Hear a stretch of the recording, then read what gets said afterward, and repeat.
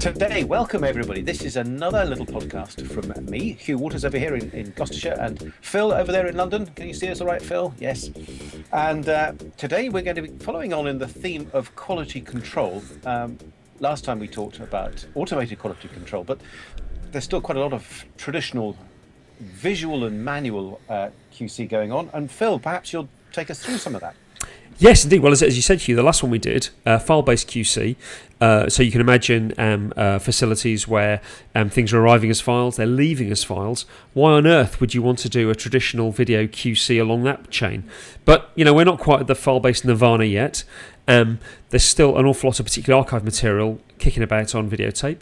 There's still an awful lot of people still delivering, particularly to Sky, on on HDCam SR videotape, and there's still a lot of thinking that you really need to put eyeballs on, on content. A lot of things are still not um, QCable by software. So, so things like the, the BCAP caption sizes, you know, your, your house may be at risk if you do not keep up payments on it at the end of the commercial. That has to be checked by eyeball. The software can't do that yet. Um, profanity, badly badly spelled lower thirds. Um, lots of things still have to have eyeballs on them. And if that's the case, well, you know, why, why aren't you also looking at the signal? So before we were so rudely interrupted by uh, by failing technology and such, I think I, at some point I really am going to invest have to invest in some decent cameras and maybe even a vision switcher to make this all work properly. But um, uh, I've got up on screen now uh, just a, a, little USB camera that's pointing at my trusty uh, Tektronix WVR series uh, waveform monitor scope, and it really is uh, you know the, the Tektronix WVRs are yeah, I regard them as kind of being the last word in in, in waveform monitoring. If I stick up the um, the, the, the, web page from Tek showing the current models, the the, the, the 5000 series, the 6000 series are, are, kind of current. And if you want to really go uh, the whole hog, the 8000 series is the um, is the one to have because that, that, does 3G. It does 3D as well. It has, it has auto, oh, really? automated 3D calibration as well. Um, but this is a 7000 series, so this is is you know, uh, uh, uh, a year or so old. Um, and uh, it's uh, it's it's it's just the thing for pretty much all um, uh, um, uh, you know kind of um, HDSDI uh, synchronous uh, video QC. Uh, so what I'm going to do now, Hugh, is I'm going to share our screen so that you can see exactly what I'm banging on about. So stand by a second. This might involve another edit point, dear viewer. dear viewer, I had to cut it again. Um, yes.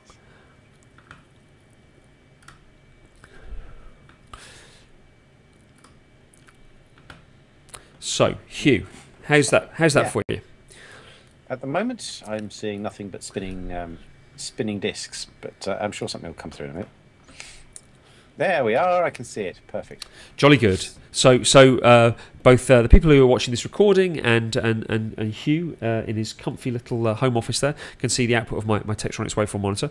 Um, exactly as you expect, I've got I've got full screen. Uh, I've got bars set up on there, and the Tektronix um, is you know, it's a kind of quad uh, quad display uh, machine.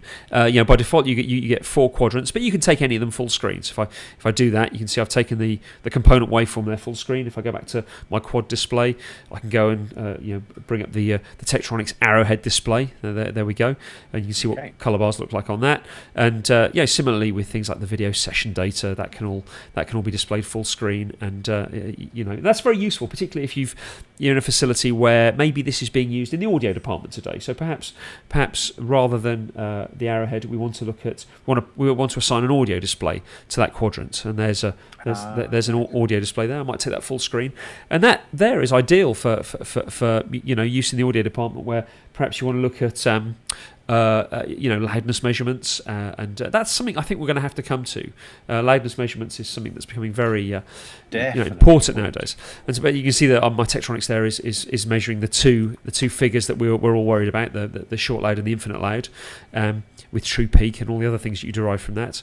And, uh, and you can see there on the left hand side of the display, it's showing uh, the four audio channels, in fact, eight audio channels that, that, that, uh, that embedded HDSDI uh, can carry. This is a standard F signal. I'm playing these back from uh, if I switch back to my uh, my, uh, my, my camera, I'm playing these back off um, uh, these groovy little um, solid state flash discs um, in a little flash disc player. So I've got no VTR or anything like that running, um, uh, but this is some standard def test material, which is just to get us going. And I'll, I'll, I'll flip over some, multiple cameras. hopefully there we go we're back to the uh, to the logitech there um, to the to, to, to, the tektronix so if i take my tektronix back to uh, the full screen and uh, what have we got there? It looks like a, a, a trailer from a movie. Uh, looks like, what is that? Miami Vice. Yeah, for sure.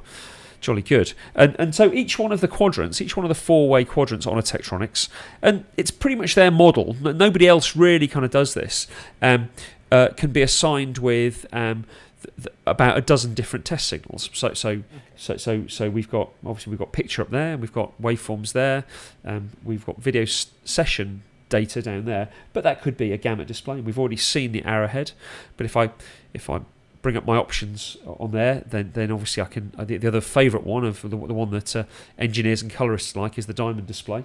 Mm. And uh, we'll we'll talk a bit more about these um, presently, but um, just go back to uh, full screen so we know what's what. And uh, I think I've run out of test material now. No, here we go. Don't know what that is. Um, this, the, the, these little portable um, HDSDI playback devices are very good, and I use them for everything for demoing Tektronix, for um, uh, uh, doing monitor calibration. So some of these slides will look uh, very familiar if you're uh, if you're a monitor person. Mm-hmm. Um, there's uh, there's a grey patch field. Oh, there's some blue. Yeah, yeah. Look at that. Yeah, the, engineer, the, the engineer's favourite. Um, and uh, we, we, we, we could sort of refer people back to uh, our, uh, our, our podcast on monitor calibration, and, and this is exactly the, uh, the the system I use when I go out and have to throw a bunch of stuff in my rucksack to go and calibrate somebody's monitor. So um, that's that's the equipment we're playing with today, and uh, and and so you know, in a traditional uh, QC environment, uh, that's that's typically what you'd expect the engineer to be looking at. Uh, yep. you, you, know, a Tektronix waveform monitor, and it might be a very modern uh, you know WVR or WFM series quad display rasterizer type machine like this, or it might be an older, you know 601 style, you know even even a, a cathode ray tube uh, t- type yep. type waveform monitor, which was very very very popular, you know, from the dawn of television, really. Well, there's still plenty of them around, you know. An awful lot of people have got them, and an awful, it has to be remembered that an awful lot of the people that might watch uh, these podcasts are, you know, still using a lot of that equipment. So, for sure, I was. Um, I think I've made reference to it before. I was working in Nigeria uh, last year, and uh, you know they're keeping they're keeping twenty four seven stations on air using very elderly equipment. And uh, uh part of the system we built for them was some uh, WFM series uh, waveform monitoring. And as we left, I saw the guy from the, the transmission department looking very kind of jealously at the, these these ingest desks that we've been putting in. And I kind of thought to myself, hmm, I wonder if I wonder if he'll be paying a visit to to reallocate some of that test equipment, maybe. Um, but the, the, nice thing about about the Tektronix, uh, so if I if I cut back up to the um, to the, uh, the, the Tektronix display, is that it's a very nice kind of halfway house between uh, traditional uh, video QC and file-based QC because as well as as as looking and driving and feeling very much like a, a traditional television test set, it's also a, a web server and uh, they've they, they've all done this for forever. And so I've got up on the screen now the uh, the remote interface for this exact one, in fact. And if I if I get a snapshot of the display, um, uh, we will hopefully see um, just to prove this is the this is the machine we're looking at on the live view. Um, well, it's, a very clean machine. It's, it's glistening white, in fact. So let's let's just try that again with a with a PNG. Perhaps perhaps my copy of Safari here doesn't like uh, Windows.bmp files. There we go. Look at that. Oh yes. So, so, so I mean you think well what what what good is that? What, why why do I want to just download the, the front panel display? But you can do an awful lot with these. They have it. They, they, they'll serve up a Java uh, applet so you can drive it remotely. You can see the display remotely over the network. Um, but the real power in these is the fact that you can download the event log um, and you can see exactly what the waveform monitor has been doing. Um, and uh, depending on how you set it up uh, in, in, its QC features, it's looking for everything. It's it's looking for uh, uh audio uh, um, uh, problems, you know, mute, session loud, clipping, all that kind of stuff. It's looking for um, uh, you know, uh, SDI gamut errors, basically anything that you might want in, in a QC, it's looking for and it's writing into the log. Now, you know, at a starting point, it's very aggressive um, and it writes everything in. Uh, but but part of the skill of using these these these Tektronix waveform monitors is to be able to go through and set a template to say what you're worried about. If you're doing just a picture pass, just a picture QC, then you turn off all the audio things, you turn off all the physical layer measurements, and you just leave it to test audio things for uh, to test uh, video things for you. You know, and, but you can imagine there are other situations where you just assume the program material going through it is correct, but you'd like it to watch for extended periods of audio silence or you know extended periods of black or extended frozen frame periods. Maybe maybe you've got it installed at a, at a, at a cable head end and you want it to be watching your channel for you and telling you when something hideous has gone wrong, like the the synchronizer's crashed and it's just you're just putting out the same still frame for, for minutes at a time, and and it can do all of that as well, and and it can do it can for all of these things. So if I if I if I go back to my uh, my main display there and I go into my config menu, uh, all the all, all the things it can do. So let's bring up a uh, some the alarms menu. Here we go. And let's go into maybe video content. You see our menu here. Um, uh, we can we can uh, check for various things in the video content menu: RGB gamut, composite gamut, luma levels, uh, uh, uh, you know, extended periods of black, frozen frames. And what, what, what we then do with those events? Do we just we, do we just light up the little red thing on the screen? Do we write an entry into the into the log for, for later export into into the web browser? Do we do we do we beep the, the buzzer on the front of the machine? Do we do we send out an SNMP trap so that it can email the engineer or text oh, the, the operator and say, look, the channel's blinking, got frozen output. Or do we do we do we close the GPI on the back to, to honk a big flashing red light outside the, outside the transmission booth to say, you know, we've fallen off the air, chaps. So there's you know all these things are very configurable, and um, you know, you know makes a very powerful, uh, very powerful automated test set, but still having all those qualities of a of a of a traditional sort of video QC machine. So, you know, we sell a lot of these, and and uh, uh, you know, I quite often go to facilities where a year later they've been using it for a year, and I say, "Oh, you got it on the network. You're using all the automated QC features." No, no, we couldn't get into all of that. You know, blah blah blah. And I think, well, it's such a shame because most of the power of it is is in there. You, you know. Yeah. So I, I do love the idea of a GPI closure, so that a transmission op in the middle of the night nodding off suddenly gets a little poke when something with a stick on a solenoid. Ow! Yeah, wake up, you swine! Something's gone wrong. Um, so um, th- th- I wanted also to talk about some of the things that, that, that, a traditional video QC operator would be expected to pay attention to, mm. but which you can't um, uh, ex- assume your test set can, can, can deal with. Uh, and, and, and so uh, let's go back up to the, the BCAP uh, caption specification. So, so here we go. This, this tells us for uh, non-widescreen and for widescreen telly in both standard definition and high definition uh, forms how you know what our pref- what the, what the what the limits are for the size of captions and if you talk to anybody who works at places like MPC or places that do lots of commercials, they're very hot on all this. I'm, I'm told that uh, quite often producers and directors will be riding them uh, to, to, to, to, make uh, ca- uh, to make captions even smaller, even smaller. But uh, there's a legal requirement, um, and it's called the BCAP spec. Um, but that, that, that, legal requirement doesn't specify the number of lines, does it? It does. It specifies the number of television lines. Now, it might not be clear to you, Hugh, because you're watching back over the remote desktop. I'll, but I'll zoom in on this. Um, oh yes, yes, it says yes. Um, um, and uh, zoomed in a bit too far. Um, but uh, you know, for, for, for the SD, uh, uh, 4x3, 14 television lines. Uh, and, and, and 16 television lines for, for widescreen but SD, and 30 television lines for um, HD and uh, you know six widescreen because there is no non-widescreen HD. Yeah. So if I um, if I go back to the uh, to, to, the camera and I go back to the Tektronix, uh, then if I go back to some real pictures, not just a test signal, and not just some colour bars. So look at this. This, this is that an awful show that uh, was on Channel 4. I think it was about a nightclub or something, like a reality show set in a nightclub. Awful, awful, awful blinking nonsense. But but for, for, points of illustration, I'll take that full screen and then I'll call up the options available to me on the on on, on the picture frame, and, uh, and, and and we've got lots of um, uh, uh, you know sort of safe areas and, and safe captions for safe area for caption, safe area for for action, so we can make sure our graphics are in the right place. We've even got several custom. Um, uh, uh, boxes that we can define in the config menu to say all our lower thirds have to sit here, for example. So so you can you can turn a bunch of these things on, and uh, and and, Ah, yeah. and and you know your Tektronix is then is then uh, you know marking the display for you so that uh, you know y- y- you know that. Um, Oh, you can have more than one at a time. So you can uh, yeah, ma- many at a time. Uh, oh right. uh, now this one's interesting. Black stroke frozen gra- graticule. That says what proportion of the screen do you want me to look at for detecting uh, lots of black, and what proportion of the screen do you want me to look at for for, for, for, for detecting frozen frames? Right. Kind of handy, isn't it?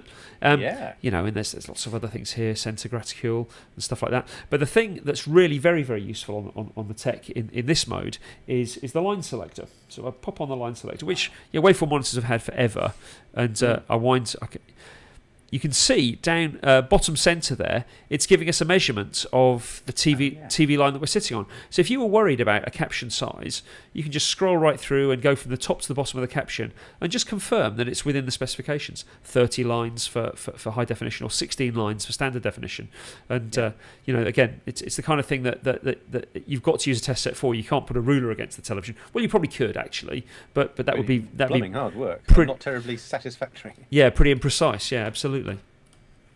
So, so that's that's caption sizes, which again requires eyeballs. Um, and in fact, I, I, I turned cages on and off there, and so we should probably just pop up a, a slide showing uh, sort Yeah. of definitions for cages. I mean, typ- typically the, uh, the the rule of thumb is that for, for for safe action, which is that part of the screen where meaningful action can't go outside of, that's about ten percent in from the edges of the screen, and then for for captions and graphics, i.e., that, that part of the screen where you're not meant to put meaningful captions and graphics outside of, that's another ten percent in from that. So so that's uh, that's the specification. And I've, uh, the, the slide we've got up at the moment's got got the, all the line numbers and and Oh, all, yeah. all that kind of thing.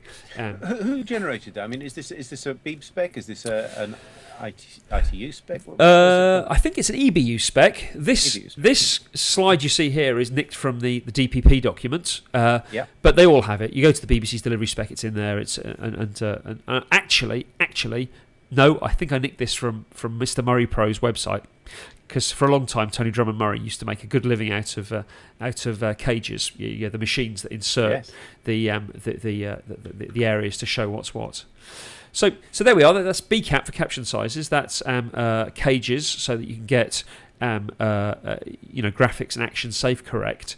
Uh, the next thing that that uh, is worth talking about is the whole business of legalizers.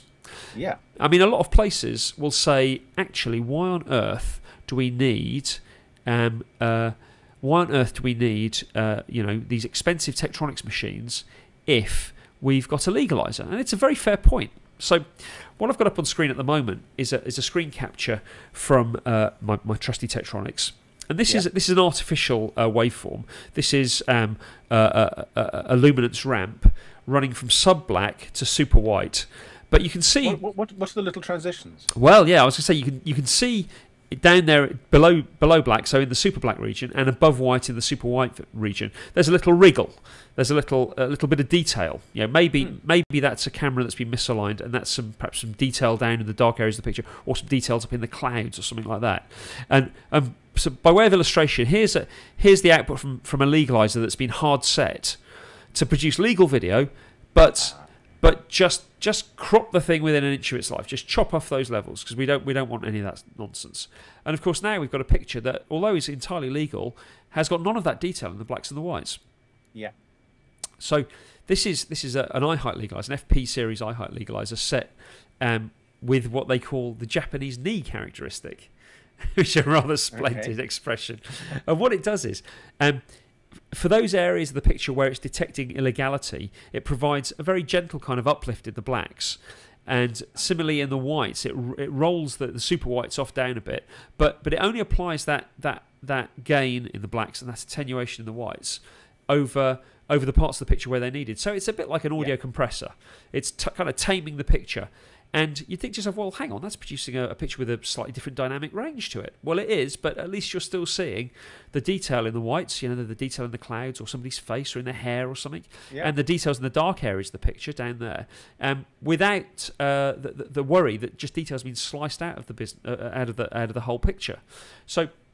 Uh, again, that's just a little, a little kind of you know a, a side for how, how legalizers work and how they can be abused.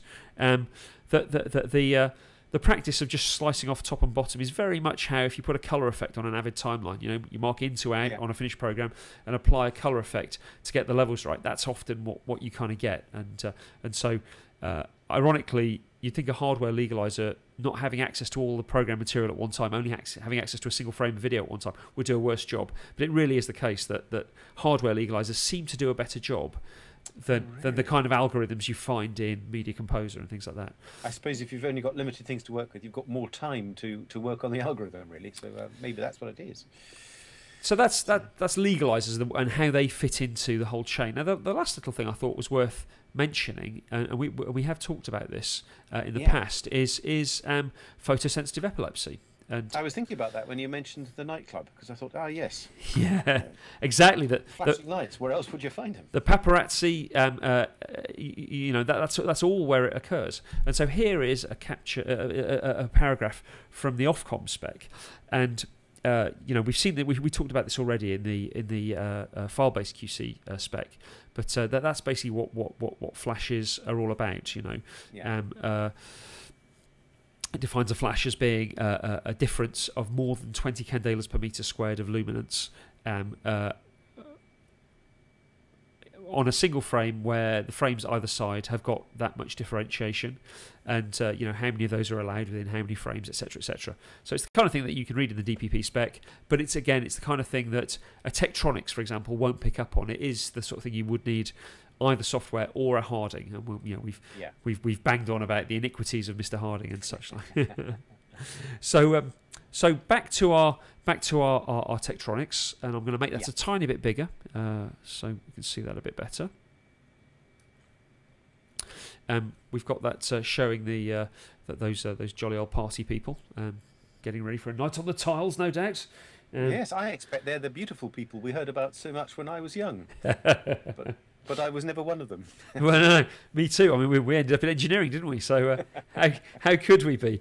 But for illustration purposes, I, I've just gone back to color bars, and uh, uh, there's uh, there, there's our, our waveform. We'll talk a little bit more in detail about about the uh, the the the, the, um, waveform display. Now, yeah. Here's here's um here's here's a a, a, a, a component parade as it's called. You can see uh, we're, we're looking at a single line of video. That's the uh, that's the luminance portion, and they're the two color difference channels. The uh, the, the blue color difference, sometimes referred to engineers as the as the U, which I will do, but it's I, I acknowledge that it's not entirely accurate. U, right. Yeah. yeah, and, and, and, and, the, and the red color difference signal, um, the, the, again referred to as the V channel, and and uh, rather splendidly, um, the Tektronix, um, well, like all waveform monitors, it's um, it puts the 350 millivolt gain onto the onto the two color difference channels, uh, so that you know, uh, looking at it in a single look, you can see there's zero volts.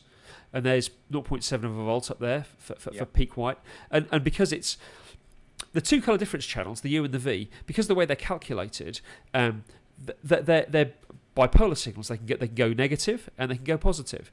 And so, if they were sat down on the zero volt level, as I suppose technically they should be, you'd then be constantly looking around the screen and thinking, "Oh, uh, am I? Am I? Where am I looking?" kind of thing. But by putting that Yeah. 350 millivolt lift onto the two signals, everything is contained within the zero volt for, for lowest and the, the 0.7 volt for highest.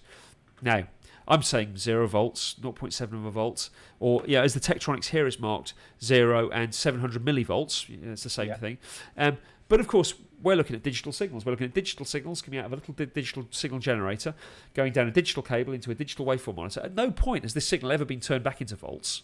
You know, it's entirely True, it's entirely erroneous to talk about it in terms of volts. They're just numbers representing pixels. But but it is the case that we've all kind of grown up with with. Um, Can you change the um, the vertical uh, scale to, to represent uh, bits or, or, or Uh, something else? Not on this display, you can't. No, there are there are other displays. Um, uh, so uh, if I bring up the uh, the measurement display and uh, we can. It'll let us look at real pixels.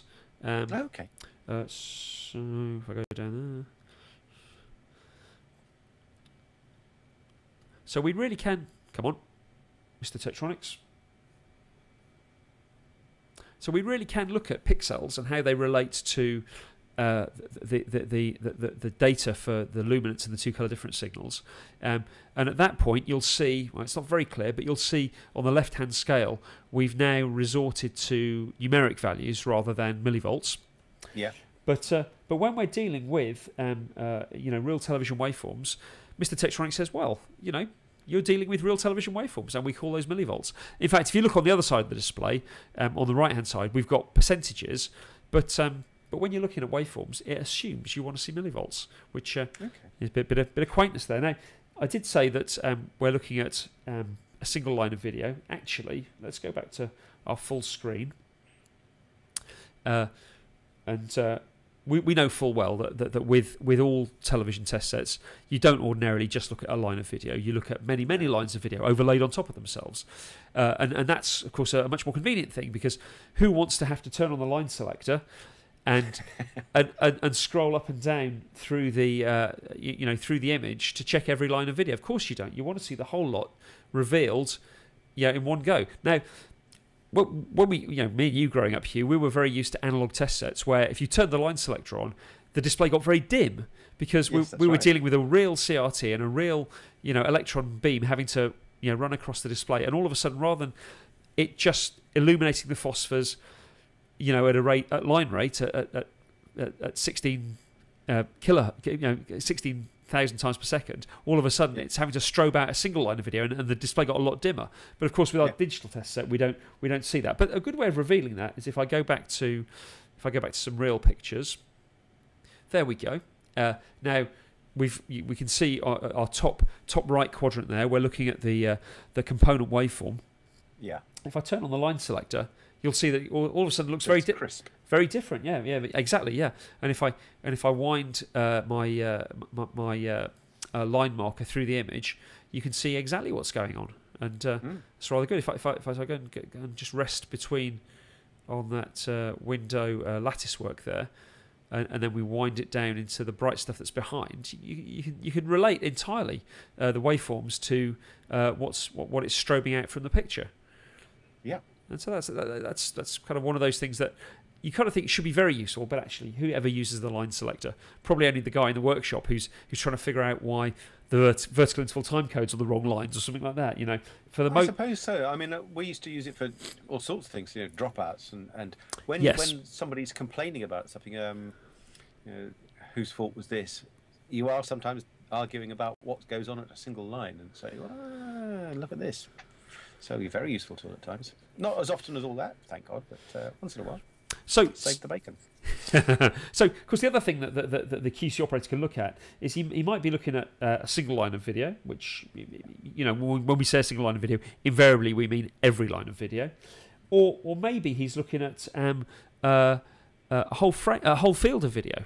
So, so if I if I press the if I press the um, the sweep button there, and you'll notice that uh, uh, you know down bottom bottom right, we've gone from 15 microseconds per division, we've gone to six milliseconds per division, uh, and and and so now we're seeing the uh, the um, a complete field of video, uh, and and that's occasionally useful, particularly if there's a fault with the picture, because some things Yeah. only show themselves on a on a field rate display.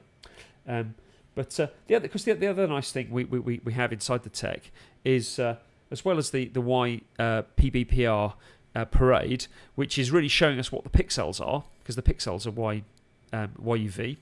Um, we've also got a bunch of other stuff, and, and for example, the RGB uh, parade is very useful for for colorists and the like, Yes, and, and camera engineers. Uh, and in fact, the Tektronix now is doing this is doing this little trick. It's actually transcoding the data for us because the data as coming down the coaxial cable is of course YCBCR pixels. It's not it's not RGB. Well, it could be nowadays. You know, SDI can carry RGB, and if it's a recording coming off an HDCam SR deck, it might be RGB. But I would say 99% of the time it isn't. Uh, so, but, but the RGB uh, parade is very useful. And, and and the other thing, which you know, I don't know if it's useful or not, but it's very kind of cute, is is the um, is the sort of synthesized version of a PAL signal. So look at that. Wow. The, the Tektronix will will inside it will code for us uh, the image and make it look like a PAL signal, which is is kind of wacky. So we go back to color bars. And sort of pretend burst. Yep, pretend burst and pretend subcarrier sitting on top of the. Pretend subcarrier. Well, but you've Um, you've you've, never I'm- you've never seen a composite signal that clean, have you? No. Under what circumstances would that be useful other than a party piece? I, I, I really don't know. I, I, I, I don't know that I've ever ever used an SDI signal synthesized into a into a uh, a composite signal. But uh, Because you'd be wanting to measure the composite signal if you were going to do it, and of course it ought to be perfect. yeah, The, the, the most you could find out is, was, is that there was something lacking in the in the synthesis. In which case, oh well, yeah, it, it, Oh, well. it's a, cur- a curious thing. So uh, it's there because it can be. so let's go back up to. No, no doubt somebody will be saying, "No, you fool! It's incredibly useful, and I use it all the time." Um, so that's that's waveforms on the Tektronix. I mean, you know, reasonably simple and, and exactly all the features you'd find on older machines. Um, Mm. But uh, again, very useful. Now, the, the, the, the, um, the, the next thing we'll think about is the gamut displays. So I'll take that full Oh, yeah. screen. Now this is this is the, the there there are there are these two gamut displays that Tektronix they're proprietary to Tektronix. You don't find them on any anybody else's machines. The the Arrowhead and uh, and and the Diamond. And in fact, they also do a they do a split diamond as well. So let's go back to the Arrowhead because that's rather splendid. So, so the arrowhead is, is, is, is a very interesting one, but it's, it's essentially if if trying to do a QC looking at uh, the waveforms of the color components was hard, um, they thought to themselves, why not just just transcode it into a single image so that you've got luminance going up the the vertical scale here, and then going down the two heads of the arrow, we've got our two color difference channels. Okay. So it's kind of all there, uh, almost like a, a sort of a bowl of porridge. Everything's in there, yeah.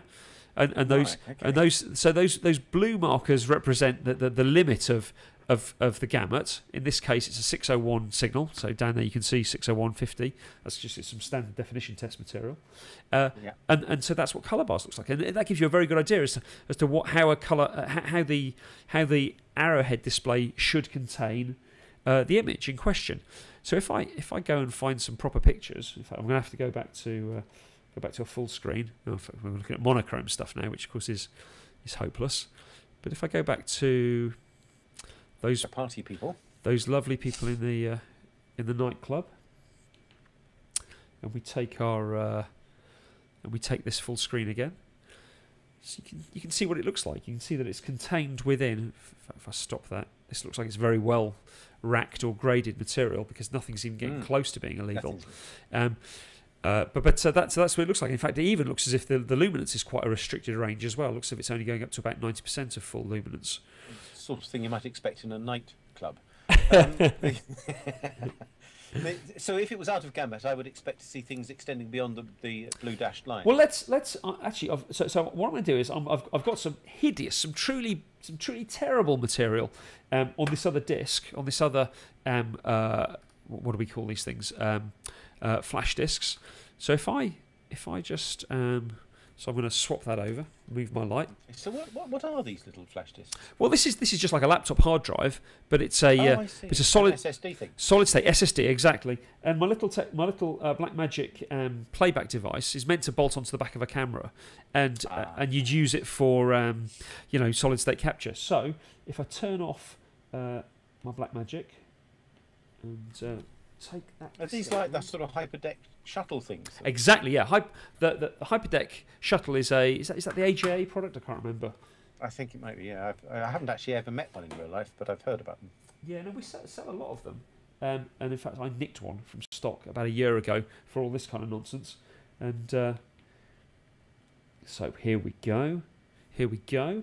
Let me put my uh, d- camera back to. Um, nope, not that camera. Back to. Um, so here we go. This is this is one of my colleagues, Dave Skeggs, uh, uh, rides for one of the Lotus teams or races in one of the Lotus um, uh, formulas. Um, is that what you call it? Oh wow. Yeah, I think so. Yes. Yeah, and so uh, and so he produces a lot of their stuff.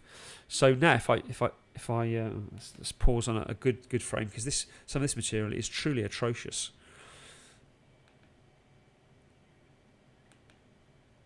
I can hear the birds tweeting behind you, here. That's rather pastoral Yes, and splendid. It is beautiful. Yeah.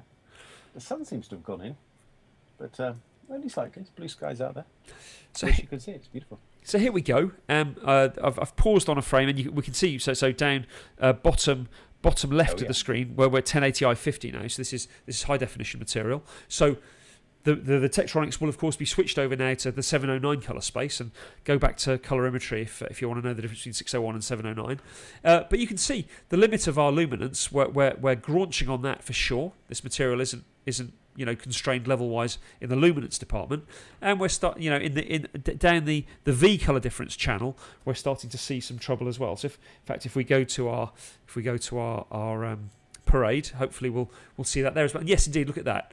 So we can see quite a lot of stuff going over on, in the luminance side of the house, and our V channel we can see some stuff start just starting to tickle above 100 percent in in the in, Yeah. the in the V side of this. But of course, watching that on a on a parade. Um, you might not notice that immediately. You might your, your your your your attention might have been distracted by the fact that the luminance is terrible, and you might not have noticed the stuff Yeah. in the in the um, in the color difference channels was problematic, um, and uh, well, you might have been distracted by the uh, the gorgeous young women who seem to run the world of racing. who knew? I thought it was hairy blokes, but perhaps not. Um, but the, the, so the so the brilliant thing about the about the arrowhead display is, is that it it, um, it gives you this ability to um, see everything at once, as it were. You can you can you can see the the luminance. glance, yes. Yeah, at a glance you see the luminance and the two color difference channels all in a single display. And if if your green trace is is, is wandering outside of, of, of the, the markers, you know you're in trouble. So Actually, very handy for live as well. You'd be able to keep a, a very close eye on stuff just with one eye. Absolutely, and, and it's the kind of thing that um, probably isn't used enough. It's been around forever. Tektronix have had the Arrowhead forever. Ever. It's proprietary to them, um, but uh, you know, I, I, I, you know, I'm sure if I was QCing, particularly like say live television, I'd, I'm sure I'd live in that display. Um, but if I if I pull up the, the other display that's available in the gamut settings, the diamond display, the diamond display is used a bit more uh, in the world of uh, uh, sort of grading and and, and Mm. camera calibration. So what they do with the diamond display is is that they transcode again a bit like the the RGB parade. They transcode the YCBCR data into RGB for us, and then they plot it in two diamonds. And so the top diamond is plotted green along that axis against blue along that axis. And then on the bottom diamond, green along that axis and red along that axis. So you've got sort of the two colour difference Right. Um, yeah. systems represented in two diamonds, with the very dark areas of the picture at the centre of the diamond, and the very white areas of the picture. You know, you know the the, the, the green blue areas of the picture up there, and the red green areas of the picture down there. And again, it's the same deal. You've got you've got these diamonds that show us the limits of the color gamut. And for, if you imagine you're a camera engineer and you're uh, and you're calibrating a camera, um, you know the first thing you do is you cap the camera up and you you look at if there's any color cast in the blacks. So that's you're looking in the center area, and then of course you point the camera at a, at a chip chart and you're looking for color casts in the greys and the whites. And so ideally you want to see a straight line running through the center of the diamond. And, and as you calibrate your camera, you see that uh, the, the center line through the middle of the diamond tilt either way. You know, and once you've got the, the, Yep. the balance of red, green, and blue correct, it, it becomes very obvious. And so, if you're a, if you're a, a, camera racks engineer, it's immediately um, a very useful uh, display to have. And again, with um, with um, uh, what am I trying to say? Graders. That, that they they like that idea of being able to see the the color differences expressed thus. Um, so we've Yeah. got we've gone on to uh, well the, these are SMPTE bars now. They're not just straight color bars like you might have found on VT, but these are these are SMPTE bars. And again, that's, that's a very useful test signal because uh, there's a whole bunch of stuff in there which uh, you know is helpful. Just pop that open and Mm. just remind people of the fact you can't see it on this um, horrible little USB webcam, but but down there you've got a little pluge signal. And, uh, Yep. and obviously you've got color bars which are useful in lots of ways because they, they show the full extent of of, uh, of transitions etc and uh, we've also got the uh, anti-color display here. So we can we can we can put the monitor into uh, blue only mode and it becomes a lot easier to do our our, our saturation lineup. Um, so SMPTE bars are very useful. And you get them with Avid and you get them on Final Cut Pro and everywhere else. And uh, you know I'm, I'm surprised more people don't use well, but people do use them for sure Um, remind me of what uh, the um, the blue box next to the white box is. I've forgotten what it is. There's, there's um, And I have as well, actually, to my shame. because it's significant, and I can't remember what it was. Yes, no, I, I'd, I'll, I'd, I'd have to look that up. I don't remember, to be honest. Um, Oh well. uh, but uh, yeah, no, you've uh, you, you see those. uh, You see it a lot more on the on the head of American programs, don't you? Uh, those, that style of that's boss. Not not so. It was, it was something about. It was was it I the I signal. Uh, it was something to do with subcarrier, I think, but I can't remember what. May be wrong. long, long ago. So I'm gonna I'm gonna pop back my material to uh, that that motor racing footage. There we go. Let's just stop that a second, and uh, we're not going to talk about the audio because I think we need to save audio for its own podcast, particularly with loudness and, and such. Um, so, so we'll keep this as a video QC thing. Yeah. Uh, but if I um, if I if I stick into that quadrant a uh, the video status information. So display type video session. Uh, this is showing us a bunch of stuff about the SDI signal, uh, which you know may or may not be useful. Uh, but uh, um, you know, it's kind of all the metadata, I suppose, associated with, with you know what's what's in the um, uh, the video video signal. Uh, you know, sort of what it declares itself to be, 1080i 50, you know, the sampling structure and all that kind of stuff. Um, but the, the the the really useful, uh, I mean, the the most useful um, subpage within this tile is um, the error log. So let's go back up to the error log. Yeah. And then we can see. Let's kill the menu. And so we can see um, that's the same error log that we were we were looking at when I when I popped up um, the, um, the the one that I downloaded from the machine. So if I go back to the front page and, and I re-pull the error log, the error log now will have will have been uh, you know running a lot a lot longer. In fact, it looks like the clock is misset on this on this Tektronix. And whereas before, when we were just playing around with that standard definition finished material, um, we were we were seeing like audio silence errors, we were seeing um, you know format mismatch errors, things like that. As I've been putting through all this um, uh, you know badly finished uh, racing footage, you can see oh there's so many Yeah. RGB gamut errors and audio session, you know audio louds and all that kind of stuff, composite gamut errors, um, uh, you know luminance overs and all that kind of stuff, and uh, they've been building up as we've just been chatting. So Very handy indeed. So when you're rejecting something, or you're having a little um, a little word with people who've made stuff, very handy to have the uh, log. And you say, look, this is what the problem is. It's very straightforward. so Or if you've been accused of something and there isn't a problem, indeed yeah. it's useful to have a piece of paper to say, no, there isn't. So we can see the error log building now, and I've, I've started playing the material back again. If I go full screen, we'll see uh, we'll see, we'll see the material going, and the Tektronix is, is, is making the log as it goes along. Um, so you, know, you can almost see almost on every shot change there's there's more problems. And that's because this material Yeah. is is just riddled. I think actually this material was finished. Uh, this is the copy that was then uploaded to Vimeo. I then downloaded it, and that's what we're watching. So it's been through it's been through some sort of web encoding wrangling. That's why it's in such terrible state. And we're glad for that. Otherwise, we'd have nothing to talk about. Now, so, so, so looking at the Tektronix display as it builds, and let's just let it go a little bit further, and then I'll stop it. Um, uh, uh, the, the green. Oh, come on, stop. So the the the, the, the green um, uh, uh, conditions mean that it's you've come out of an error condition. The red ones mean you've gone into an error condition. Let's play it again. Oh, I see. Uh, and and and the stuff in brackets afterwards tells you essentially what was wrong. So for audio silence, it's telling us that channels three through eight had an extended period of silence. For the RGB gamut error, it's telling us that the gamut error is in the red channel, and because it's the uppercase R, it's in it's in the bright parts of the picture in the whites. For these gamut errors we're seeing here, uh, it's telling us that, that it's it's it's wrong in, in the whites in the red channel. The, both the green in the blacks and the whites is wrong, as as is the blue, and we're going into that error. That that error is occurring, and when that error finishes, it'll come out as a as a green condition. So Yeah. You know, it's a remarkably powerful tool because there's no way that, a, that, a, that an operator can sit and watch that and, and, and derive all that for himself. You, you know, um, I know for, for facilities where, where, where I go and, and work, where they do lots of um, commercials, uh, a 30 second commercial might get watched through several dozen times um, because literally every frame has to be right. And and so imagine trying to QC you know a 45 minute finished program. Uh, it's impossible. It's almost impossible. Whereas the Tektronix will kind of watch it for you and kind of do all that correctly for you, um, and uh, you know it'll never miss a frame, kind of thing. Fantastic. What a tool.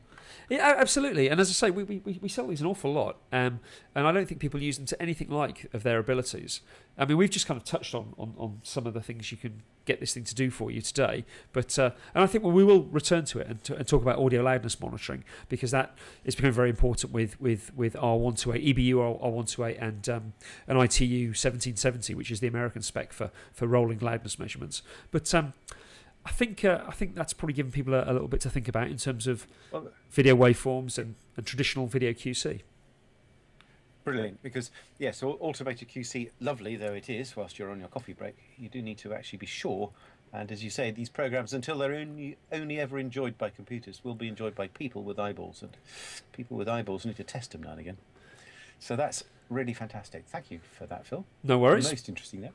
And just before we, we wind down, I just wanted to say a special thank you to a viewer. We had a we had a contact this week from Azim Butt, who um, is in Berkshire, and he's sent us a whole list of things that he'd like us to talk about. Um, some of which we've touched on, and others which I'm sure will will will appear from time to time. But anybody else that thinks we ought to be talking about something, please contact us. And as ever, if anybody feels like um, joining in one of these, we're always uh, welcome to uh, visitors and chats. Uh, but anyway, there you go. It's lovely to hear from people, even if you just want to say hello. Really, actually, it's very nice just to just to hear from the viewers. So to know that there are some, which is which is really cool. Indeed. And So Phil, thank you very much indeed. no worries. I'm just going to remind people where they can get hold of the podcast. Um, it's on Yeah, iTunes. ITunes is by far the biggest um, uh, place where, where, where people get hold of it from.